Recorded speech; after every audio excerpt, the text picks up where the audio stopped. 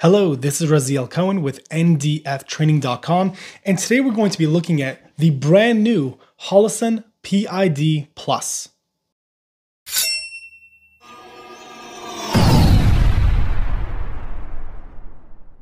This video is brought to you by AmmoKitty.com. If you're looking for magazines, ammunition, optics, or accessories, head over to AmmoKitty.com to find some great discounts there. Also, starting this Thursday will be site-wide sales for Black Friday, so go check out the amazing pricings that they offer.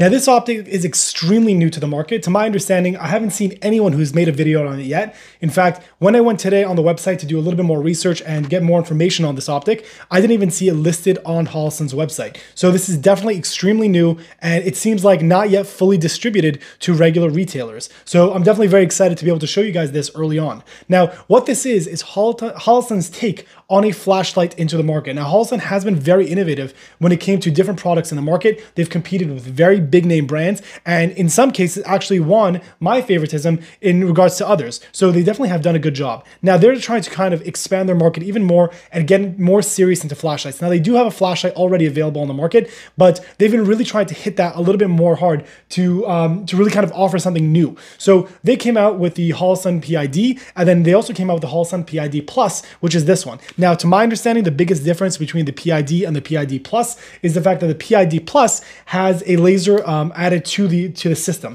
So I'm going to be comparing this to two other popular flashlights. One which I absolutely dis dislike, but is still available and has some components that I think are worth comparing to this uh, to this flashlight, um, as well as other ones that are extremely popular to kind of give you an idea of where this might fall. Now I might be somewhat critical when it comes to this particular flashlight because Holosun has entered a very aggressive battleground when it came to flashlights. Right now, there's a very serious uh, serious competitors out there in regards to what they're able to offer. So the question is, will the light output, will the candela output, will the cost, will the durability live up to the branding uh, in, in comparison to other uh, uh, other offerings that are currently available on the market? So what we're going to do is we're going to go to the tabletop. We're going to be able to take a closer look at this, compare the size to other offerings that are available right now, maybe give you a different feel for how the design was, show you some of the features, and maybe give you a better insight into what this flashlight is and if it's something that you should consider for your everyday carry use. Okay, so we are now at the tabletop and we're going to be taking a look uh, at this a little closer in to get an idea of the value you're getting out of this. So there's definitely a lot, a lot to speak about here. So this is the Streamlight TLR1 HL. It is a very, very popular flashlight known for like the very basic toggle switches on both sides.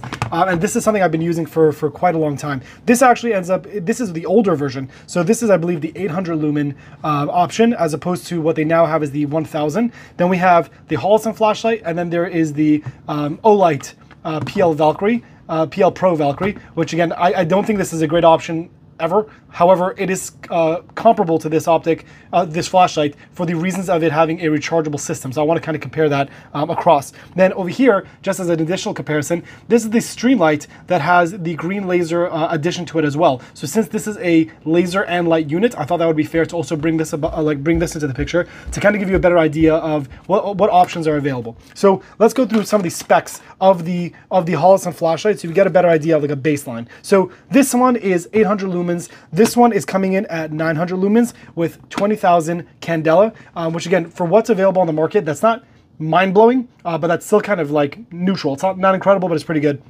And then it has the ambidextrous controls. Now, the ambidextrous controls are very unique because there are two sets of controls. There is the top and then there is the bottom. The top, when pressed, activates the light, and then the bottom, when pressed, activates the laser, and it's able to be done on both sides. Now, something I'm going to show you guys when I when I kind of have some B-roll going up over there is that I've had a weird issue with the activation of the light. So what the way it works is a single tap is going to keep the light on. By the way, that flickering is not visible to me on, on my end, but I, I noticed that on the camera.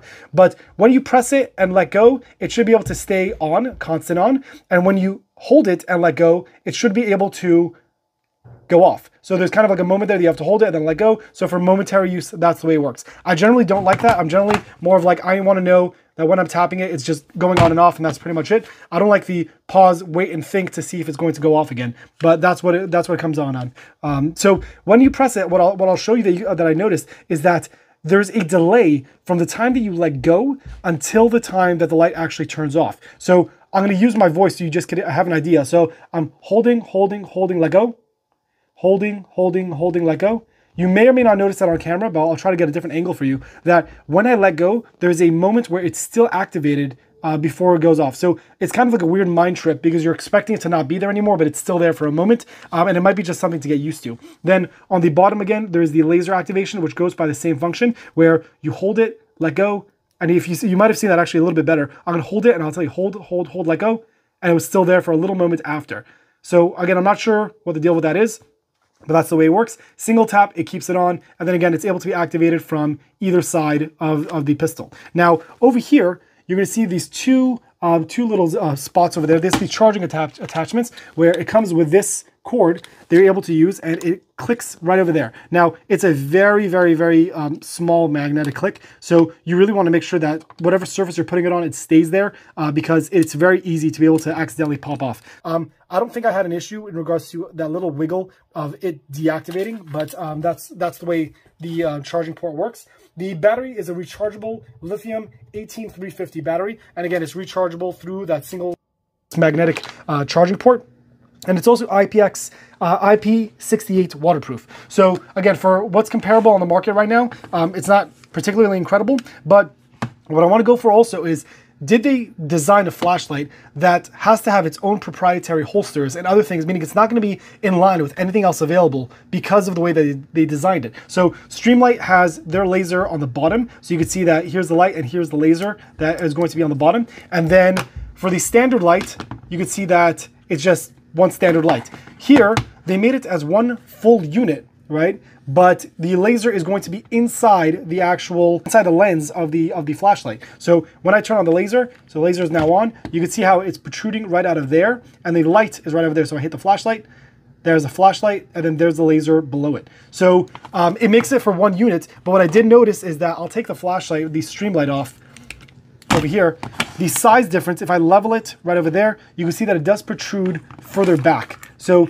the streamlight is a little bit shorter than this one, which again is already uh, pretty big. So if you have maybe, perhaps, if you have like these Surefire flashlights, it may or may not be compatible with, with that setup. I don't know. Um, but that's just to be something to be aware of, where if you have a Streamlight TLR1HL, to my understanding, it will not be holster compatible uh, because of the length being a little bit longer. So your trigger might be a little bit more exposed. Something I also want to point out is regards to mounting. So the mounting right over there, there's a screw that you are able to undo. And again, being completely blunt and honest, I cannot after installing this, for the life of me, remove this flashlight. Now I'm going to obviously figure it out, but usually you're able to just kind of press, like on the Streamlight, you'll see that this bar over here, it moves off to the right to make it easier to be able to remove. And if I press that over here, it did have that feature when I was putting it on, but for some reason now, as I'm trying to take it off, it is not, it is not being able to be removed. So I'm not exactly sure what the deal is with that. I'm going to try to pry it off in some case, but again, as of right now, it's, it's literally stuck.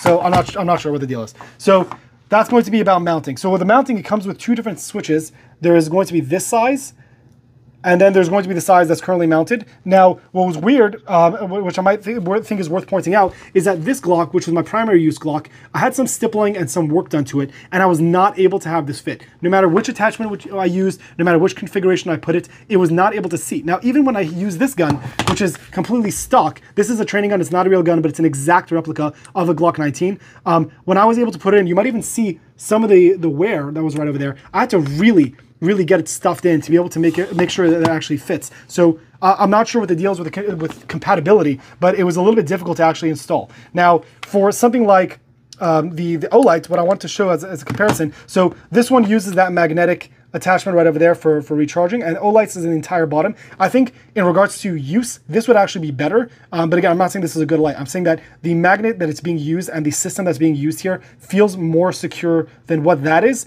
Uh, but I would hope that over time, we're going to see that this is going to function better, which is obviously way more important. Now, in regards to putting on and, and taking off, the easiest and easiest, no question, to be able to put on and take off is the Olight locking system. It is a very simple, very straightforward system. Second to that would be the Streamlight twist on and twist off, which I really like. It's not, it doesn't require any tools, and I like the fact that it's toolless. Um, and then lastly would come this one, which I, I, I, can't take it off right now. So I'm not sure what the deal is with that, but this was also the more, most difficult to be able to, to put on. But again, realistically, if it's going to be a duty gun, it's not going to be something that matters that much um, because it's going to be something that stays on. Now, I'm not saying it shouldn't be able to come off, um, but what I am saying is that generally you're going to keep it on and it doesn't really matter in regards to ease of taking on and off unless you like switching between multiple guns. Now, you could see over here on the left side and on the bottom is going to be the adjustments for the laser to be able to adjust it. And then over here, which also shows to be something that's pretty nice, is it's all tight fit.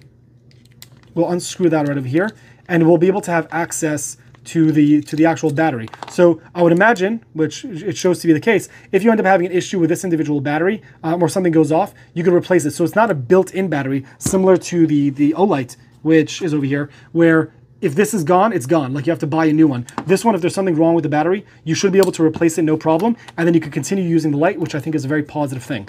So just kind of as an overview for this light, the light is pretty low. So meaning for me to be able to press the buttons with my thumb, I have to really get to the back to be able to activate it. You can't really do it all. You can't do it to the side. I'm pushing the side right now and you're not able to activate it. You have to go further back. That's the, the furthest back I could go. So you kind of have to do it at a back angle versus if I attach this again, when I'm pressing this, since it's kind of a toggle, it makes it much more easy to activate. But also, streamlights are known to be easier to accidentally activate when you're not intentionally trying to do so. So pros and cons of each. Um, however, I would want there to be a little bit easier to be able to access the switches, uh, but again, it's pretty low for what I'm trying to do. And then the laser again is even lower than that um, which is a whole separate discussion if you should have a laser on your defensive use guns. So I know this is kind of a lot of information, but I kind of wanted to give you guys an overview on this light. I still haven't had enough time to test yet. It's literally brand new, but I kind of wanted to give you guys an overview of what this product offers. So in regards to this being something potentially working in the future, uh, in all honesty, I find it it's going to be a very, very rough competition because you're coming into a market that's already very aggressive